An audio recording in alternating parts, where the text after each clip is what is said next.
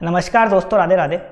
तो आज के वीडियो में अपन डिस्कस करेंगे सी ए फाइनल जो डी का जनवरी 21 का पेपर था, वो कैसा था न्यू कोर्स का कैसा पेपर था ओल्ड कोर्स का कैसा पेपर था, वो डिस्कस करेंगे। क्वेश्चन कहाँ से थे ए बी सी एनालिसिस के अकॉर्डिंग कितना था, वो सारी चीज़ें डिस्कस करेंगे। सबसे पहले मैं बता दूँ, आपको ये पूरा का पूरा पेपर डीटी का as per A B C analysis था। ओल्ड कोर्स न्यू कोर्स दोनों का as per A B C analysis paper था डीटी का। आप भी मैच कर सकते हो ए बी सी एनालिसिस आपको पेपर मिलेगा।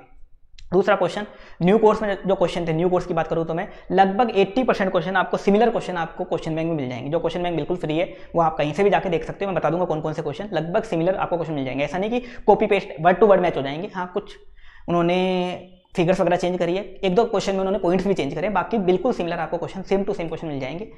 तो जो डी का पेपर था, उसको एक बार देख लेते हैं कि कैसा कैसा पेपर था, फिर अपन पूरा पेपर देखते हैं डीटी का। कि कौन क्वेश्चन कहाँ कहाँ से पूछे थे।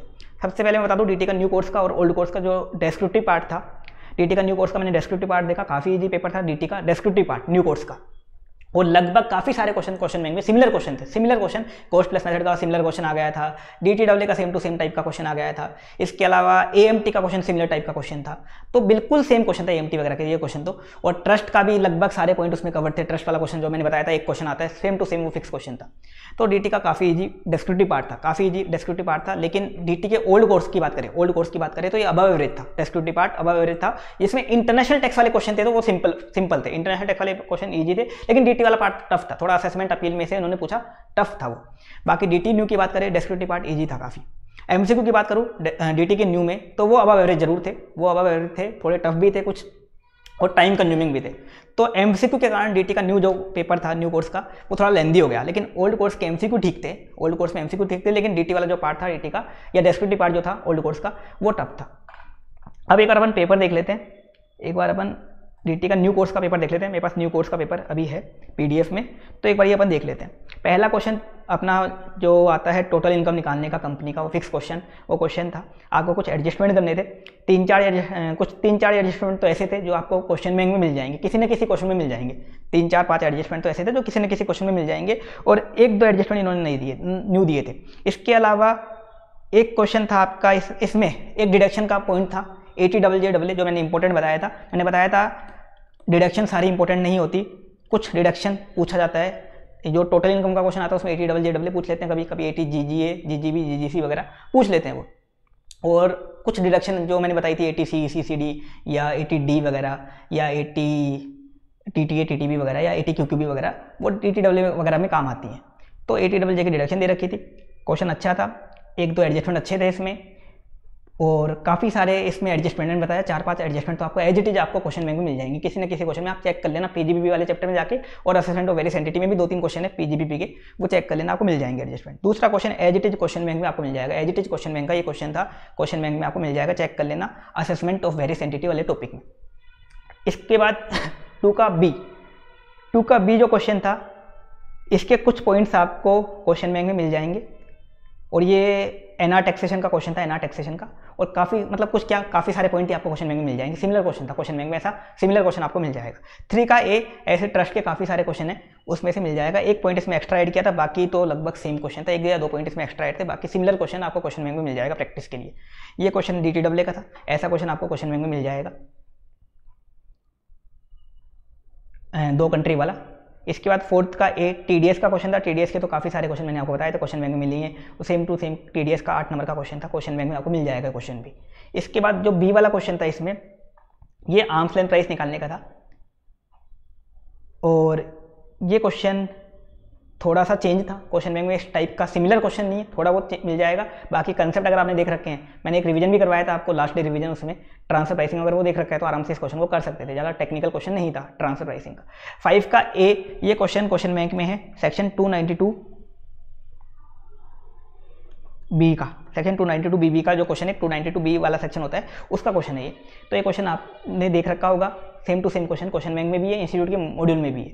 इसके बाद जो बी वाला क्वेश्चन है इसमें, ये केस लो के ऊपर बेस्ड था बी वाला क्वेश्चन और सी वाला क्वेश्चन इसमें केस लॉ के ऊपर बेस्ड आपको तीन में से दो करने थे। मैंने बताया केस लॉ का वेटेज चार नंबर का होता है। इसमें आठ नंबर का है? लेकिन चार नंबर का आपको अटेम्प्ट करना था। मतलब चार नंबर का ही केस लॉ का वेटेज था। तो चार नंबर का केस लॉ के ऊपर क्वेश्चन था इसमें। इसके बाद एक कोऑपरेटिव सोसाइटी मैंने आपको एबीसी एनालिसिस बोला था कोऑपरेटिव सोसाइटी नवंबर सोलह में आया था। उसके बाद उन्होंने यहाँ क्वेश्चन दे दिया। और कोऑपरेटिव सोसाइटी में अगर आपने रिविजन वीडियो देख रखा है तो ये क्वेश्चन आराम से कर सकते थे। अगर रिविजन वीडियो नहीं देखा, खाली क्वेश्चन देखा है तो दिक्कत आ सकती थी। एक दो पॉइंट इसमें नहीं थे। क्वेश्चन बैंक में क्वेश्चन है कोऑपरेटिव सोसाइटी का वो बिल्कुल सिमिलर नहीं है। लेकिन वो इस वाले क्वेश्चन में कुछ पॉइंट नहीं थे। अगर रिवीजन वीडियो देखा डिडक्शन वाला तो उसमें पूरा कवर था ये वाला। इसके बाद ये रखा है ये वाला क्वेश्चन ये क्वेश्चन दोनों क्वेश्चन बैंक में और दोनों question last November twenty November twenty जो अटैम्प्ट हुआ था, उसमें ओल्ड कोर्स में आए थे। क्वेश्चन जो था आपका ये है सिक्स का ए सिक्स का ए नवंबर ट्वेंटी में आया हुआ है सिक्स का ए का फ़र्स्ट और सेकंड पार्ट दोनों का दोनों as it is November twenty में आया हुआ है, वहाँ आपको मिल जाएँगे और क्वेश्चन बैंक में भी कवर्ड है क्वेश्चन इसके बाद बी सिक्स का बी ये कोस्ट प्लस मेथड का क्वेश्चन था। क्वेश्चन बैंक में एज इट इज़ क्वेश्चन आपको मिल जाएगा कोस्ट प्लस मेथड नवंबर सोलह का क्वेश्चन है, नवंबर सोलह का क्वेश्चन सिमिलर यहाँ दे दिया इन्होंने। तो ये पेपर था। पूरा का पूरा एबीसी एनालिसिस था। बारह नंबर का ट्रांसफ़र प्राइसिंग डेस्क्रिप्टिव पार्ट की बात करें तो। आठ आठ एक नंबर का आपका एनआर टैक्सेशन का पेपर था इसमें। छः नंबर का डी था इसमें। इसके अलावा आठ नंबर का टीडीएस था, आठ नंबर का ट्रस्ट था। और फोर्टीन मार्क्स मार्क्स का वो पी वाला क्वेश्चन था और आठ नंबर का ए था। तो पूरा का पूरा ए एनालिसिस था और मैंने बताया था आपको असेसमेंट अपील पेनल्टी वगैरह, ये सब मिला के दस बारह नंबर के आते हैं, वो दस बारह नंबर के थे, वो सारे के सारे मिला के। इस बार इसमें गार का क्वेश्चन नहीं आया गार का क्वेश्चन नहीं आया, लेकिन इसमें एमसीक्यू जो थे एमसीक्यू टफ थे एमसीक्यू अबव एवरेज थे और कुछ एमसीक्यू काफ़ी ज़्यादा टाइम कंज्यूमिंग थे। तो उसके अकॉर्डिंग ये पेपर एवरेज था डीटी के न्यू कोर्स का। अगर आपने ए बी सी एनालिसिस देखा रिवीजन वीडियो देखे हैं, और अगर आपने क्वेश्चन बैंक किया है तो आराम से इस डीटी के पेपर में आप सेवेंटी प्लस मार्क्स स्कोर कर सकते हो। ऐसा कुछ टेक्निकल पेपर नहीं था, अगर अपन न्यू कोर्स की बात करें तो। लेकिन ओल्ड कोर्स का पेपर थोड़ा टेक्निकल था। इंटरनेशनल टैक्स वाला पार्ट उसमें काफ़ी ईजी था, आराम से मैनेज कर सकते थे आप। हाँ डी वाला पार्ट काफ़ी टफ था उसमें। डीटी वाला पार्ट काफ़ी टफ था। कुछ क्वेश्चन उन्होंने अच्छे पूछे हैं उसमें, लेकिन एमसीक्यू उसके एवरेज थे एम में कोई दिक्कत नहीं थी। और उसमें असेसमेंट वगैरह के क्वेश्चन भी पूछे गए हैं, थोड़े। अब आते हैं अपन इनडायरेक्ट टैक्स का एबीसी एनालिसिस पे। इनडायरेक्ट टैक्स में आपको कैसे करना है, क्या करना है? इनडायरेक्ट टैक्स में देखो जीएसटी 90 कस्टम 30 मार्क्स का। आप पहले कस्टम रिवाइज कर लेना आज। कस्टम पहले रिवाइज कर लेना, क्योंकि कस्टम में क्वेश्चन घुमाते फिराते नहीं है। और कस्टम में डायरेक्ट क्वेश्चन आते हैं, आराम से आप क्वेश्चन अटेंड कर सकते हो। मैंने बता रखा है आपको एबीसी एनालिसिस न्यू वाला। न्यू वाला देखना आप पुराना वाला मत देखना।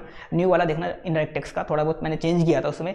तो उस अकॉर्डिंग आप देख लेना कस्टम में मैंने कुछ टॉपिक बताए थे, कुछ स्पेशल टॉपिक्स भी बताए थे चैप्टर के अंदर से। तो वो टॉपिक देख लेना, वो कुछ चैप्टर देख लेना, जो मैंने बताए थे। देखो, मैंने यहाँ दिखा रखा है आपको, मैंने चैप्टर फोर बताया था चैप्टर सिक्स बताया था चैप्टर फाइव में दो टॉपिक बताए थे baggage rule provisional assessment chapter one में बताया था मैंने आपको section twenty section twenty two और चैप्टर टू में safeguard duty anti dumping duty और एफ़ वगैरह, ये बताया था मैंने। सबसे पहले ये चीज़ें कवर कर लेना कस्टम की आज और कल फिर जीएसटी स्टार्ट कर देना। जीएसटी में आपने जो पढ़ रखा है तो वो पढ़ लेना। अगर एसएम पढ़ रखी है तो बेस्ट है। एसएम में चार्ट और टेबल पढ़ रखी है तो काफ़ी बेस्ट है। इसमें सबसे पहले value supply input tax credit और एग्जिमिशन ये तीन ऐसे चैप्टर हैं जिनको अच्छे से कर लेना। इनका कंपलसरी क्वेश्चन आता है फोर्टीन मार्क्स का। इनका मिक्स तो उसको आप अच्छे से कवर कर लेना। और इनके अलग अलग क्वेश्चन भी आते हैं। तो थर्टी मार्क्स का इनका वेटेज होता है डेस्क्रिप्टिव पार्ट में। मैं डेस्क्रिप्टिव पार्ट की बता रहा हूँ एमसीक्यू तो अलग आते हैं इनके। ये तीन चैप्टर सबसे इंपॉर्टेंट चैप्टर है। एग्जामिशन का मैंने कीवर्ड्स का पीडीएफ डाल रखा है हाईलाइट करवा के। वो कीवर्ड्स का पीडीएफ देख लेना टेलीग्राम चैनल में आपको मिल जाएगा। इसके अलावा फिर मैंने चैप्टर बताए थे M composition levy chapter three के दो टॉपिक बताए थे। नेगेटिव लिस्ट चैप्टर टू में बताई थी composite and mix supply chapter two में बताई थी time of supply place of supply refunds वगैरह। ये मैंने कुछ चैप्टर बताए थे, इनका ट्वेंटी मार्क्स का लगभग वेटेज रहता है। तो पहले कल सुबह ये कवर कर लेना आप जीएसटी में। कैटेगरी ए वाली जो टॉपिक मैंने बताया आपको ट्वेंटी और थर्टी फिफ्टी मार्क्स के, ये कवर कर लोगे सेवेंटी फाइव टू एटी की कवरेज आपकी हो जाएगी। फिर कैटेगरी बी उठा लेना कैटेगरी बी के चार पाँच चैप्टर है, इनके थोड़े से नोट्स वगैरह पढ़ लेना, फिर क्वेश्चन वगैरह जो दे रखे हैं इंस्टीट्यूट वाले, वो क्वेश्चन देख लेना रजिस्ट्रेशन जॉब वर्क ई वगैरह के ऑफेंस पेनल्टी डिमांड वाले और एडवांस रूलिंग वगैरह चैप्टर के। इसके बाद इन चैप्टर को छोड़ के जो बच गए वो सारे कैटेगरी सी हैं। कैटेगरी सी में अगर टाइम मिल जाए तो देख जाना, नहीं मिले तो कम से कम क्वेश्चन देख जाना उनके, पंद्रह से बीस नंबर के, उनसे भी क्वेश्चन आने के फुल चांस होते हैं। तो इस तरह से आपको करना है। जीएसटी में सेक्शन नंबर लिखने की कोई रिक्वायरमेंट नहीं होती। रूल नंबर लिखने की कोई रिक्वायरमेंट नहीं होती। नोटिफिकेशन नंबर कुछ मत लिखना। आपको पूरे मार्क्स मिलेंगे इसके अलावा वर्किंग नोट ज़रूर बनाना जीएसटी में। कोई भी क्वेश्चन करते हो, जैसे मान लो एक क्वेश्चन किया, इसके नीचे वर्किंग नोट बना देना हर पॉइंट के। हर पॉइंट के आपको जीएसटी में वर्किंग नोट बनाने ये बात मैंने, मैं आपको बताने वाला था इसमें। तो ये आप जीएसटी में ध्यान दे लेना। इनडायरेक्ट टैक्स में। तो डीटी का पेपर अभी तक देखा जाए, जनवरी में देखो, जनवरी के पेपर काफ़ी टफ आ रहे थे, लेकिन डीटी का पेपर इन्होंने ठीक दिया है न्यू कोर्स की बात करें। ओल्ड कोर्स का इन्होंने अब एवरेज दिया है, लेकिन न्यू कोर्स की बात करें तो ठीक पेपर दिया है। और उस दिन मैं जो लास्ट पेपर हुआ था आपका इलेक्टिव पेपर इसका पेपर उसका मैं रिव्यू नहीं कर पाया था, क्योंकि काफ़ी सारी कोर्स थी, काफ़ी सारे स्टूडेंट्स की। तो उसके रिगार्डिंग मैं बता देता हूँ आपको इलेक्टिव पेपर में, कैसे पेपर थे इलेक्टिव के। तो इसका का पेपर नॉर्मल पेपर था, इसका में अगर नोट्स वगैरह कर रखे थे या स्टडी मेट कर रखे थे तो आराम से मार्क्स ले सकते थे। लेकिन इलेक्टिव की बात करें तो आरएम का टफ था और फाइनेंशियल सर्विस कैपिटल मार्केट का दोनों पेपर काफ़ी टफ थे, दोनों पेपर काफ़ी टफ थे। इसके अलावा इंटरनेशनल टैक्स सबसे सिंपल पेपर था। सारी केस स्टडी ऑलमोस्ट सारी केस स्टडी रिपीट थी। मतलब अगर इंटरनेशनल टैक्स में अगर वो केस स्टडी कर लिया आपने इंस्टीट्यूट वाली, या मेरा क्वेश्चन बैंक जो मैंने शेयर कर रखा है कंपाइलर फ्री में शेयर कर रखा है, अगर आपने वो कर लिया तो उस इंटरनेशनल टैक्स के पेपर में नाइन्टी प्लस मार्क्स आप आराम से ले आओगे। नाइन्टी प्लस कुछ केस स्टडी तो तीन केस स्टडी तो ऐसी थी जो पूरी कॉपी पेस्ट थी। इसके अलावा उसके बाद जो आपका पेपर बच गया इकोनॉमिक लो वो भी इजी पेपर था और सिंपल पेपर था इकोनॉमिक लो तो अभी तक सिंपल सिंपल ही आ रहा है, आगे पता नहीं कैसा आ जाए, कुछ नहीं कह सकते इलेक्टिव में। और जीएफआरएस भी सिंपल पेपर था। तो ये तीन तीन पेपर सिंपल थे जी F R S economic law और इंटरनेशनल टैक्स तो बिल्कुल सिंपल था। पहली बार इतना सिंपल पेपर आया इंटरनेशनल टैक्स का। और आर एम और आपका एफ़ एस सी एम वो टफ थे। मैंने फिर से बोलता हूँ, आप एफ़ एस सी एम का भी मत लेना। सबसे बेकार सब्जेक्ट है एफ़ एस सी एम जिसने भी ले रखी है। उसको एक बार इग्नोर ही करो एस को और एक जो मल्टी डिस्प्लिनरी वाला सब्जेक्ट होता है ना, दो सब्जेक्ट सबसे बेकार है। बाकी चार में से आप कोई सा भी लो, वो आपकी किस्मत की बात है। ये था इलेक्टिव का रिव्यू जो मैंने आपको बता दिया। बाकी मैं एक अलग से वीडियो और बना दूँगा, क्योंकि काफ़ी सारे स्टूडेंट्स के मे ट्वेंटी वन के लिए मैसेज आ रहे हैं कि क्वेश्चन बैंक कब आएगा, कब कौन सा क्वेश्चन बैंक आएगा। तो उसका अलग से वीडियो आ जाएगा कि कौन सा क्वेश्चन बैंक कब आएगा, कौन सा क्वेश्चन बैंक कब आएगा। डीटी वगैरह का क्वेश्चन बैंक रेडी हो चुका है। मे ट्वेंटी वन के लिए भी। अब पूरा रेडी है। वो मैं जल्द से जल्द आपके साथ शेयर कर दूँगा। अभी तो स्टूडेंट्स को अवेलेबल था। मैं जल्द से जल्द जल्द आपके साथ डी टी का क्वेश्चन बैंक भी शेयर कर दूँगा। और बाकी क्वेश्चन बैंक भी मैं जल्द से जल्द आपको बता दूँगा कब आने वाले हैं और कब शेयर होंगे। रिविजन वीडियो भी मैंने जो डाल रखे हैं DT के लगभग मैंने अपलोड कर दिए डीटी वाले पार्ट के। इंटरनेशनल टैक्स वाले पार्ट के बचे हुए वो मैं अपलोड कर दूँगा। डी वाले पार्ट का भी एक बचा हुआ वो अपलोड कर दूँगा। इसके अलावा एस एस एफ़ एम के रिवीजन वीडियो जो बचे हुए वो अपलोड हो जाएँगे जल्द। और एफ़ आर के थोड़ा लेट होंगे। मार्च में स्टार्ट हो जाएँगे एफ़ आर के अपलोड होना। तो उस अकॉर्डिंग आप प्लानिंग कर लेना। रिवीजन वीडियो जो यूट्यूब पर अपलोड होंगे। और मैंने आपको क्वेश्चन बैंक के बारे में बता ही दिया। बाकी भी कुछ क्वेरीज थी जनरल क्योंकि मेरे पास काफ़ी सारी कॉल आ रही है तीन दिन से। तो तीन दिन से बस खाली मैं कॉल ही अटेंड कर पा रहा हूँ। तो उस चक्कर में मैं जो क्वेरीज थी आपके कॉमन उन सबका मैं एक साथ डिस्कशन कर लूँगा और उस अकॉर्डिंग मैं गाइडेंस का वीडियो बना दूँगा मे ट्वेंटी के अकॉर्डिंग तो आज के लिए इतना ही। Thank you so much